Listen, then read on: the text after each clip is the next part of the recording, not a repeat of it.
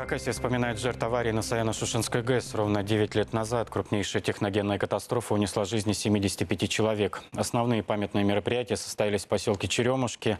После панихиды состоялся концерт «Реквием» с участием прослав... прославленного ансамбля песни и пляски имени Александрова. Репортаж Виктора Бурова.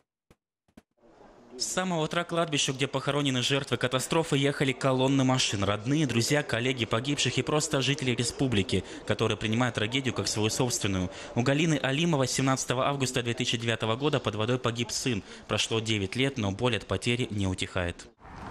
Почему мы живем, а дети уходят?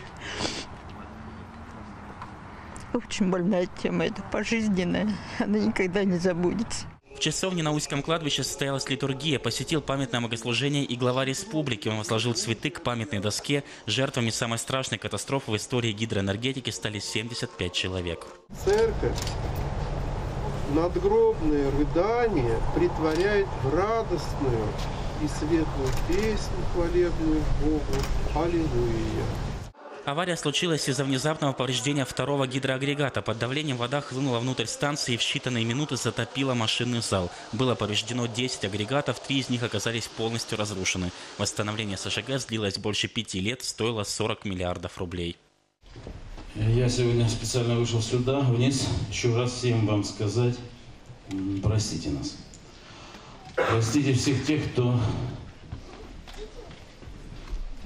был повинен гибели ваших близких.